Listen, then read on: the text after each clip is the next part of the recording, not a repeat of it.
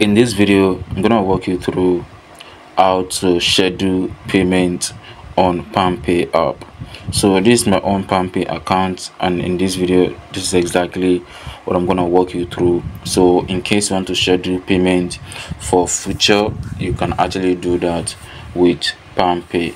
So all you just need to do just click on transfer then you can choose where you actually want to transfer to. Probably to a bank account or to palmpay account or withdraw cash. So you just need to just click on to bank if you are sending to bank. Then on this page right here you can see schedule transfer. You can see it right there.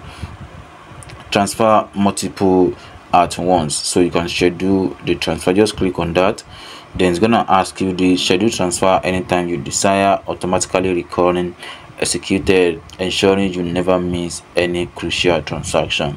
So there is different option right? There you can see pay rent contribution living expenses holiday gift. So you can use this option to pay your rent. So let's say i just want to pay for rent for example. So i'm gonna click on that so once you click then you can click on schedule a new plan.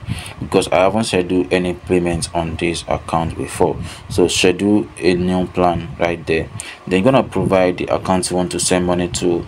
Then uh, you're gonna put in the amount you actually want to send out.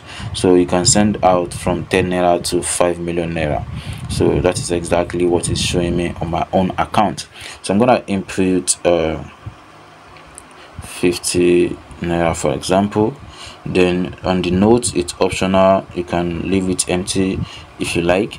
So you can select account number right there. So let me input a random account number. So right so this account number so i'm gonna select uh op for example. Then it's gonna confirm the account name then click on continue then right here you can see the amount is selected. Then frequency maybe once uh, on this particular day or daily or weekly or monthly. So you can schedule how you want to do that. So on this uh, transfer time right there so you can just click on the drop down then you can select the date you actually want to run the transfer.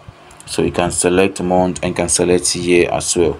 So let me just select june uh, 1st 2024 then gonna click on confirm.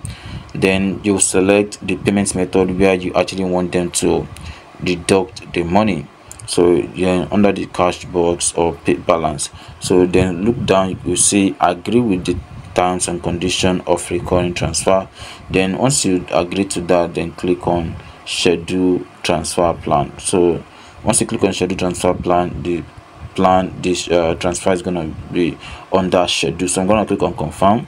Then it's gonna ask you for your own pin. So just input your pin right there. Then you will be able to schedule the payment just like that. So that is how you can schedule payment on uh palmpay app without any difficulties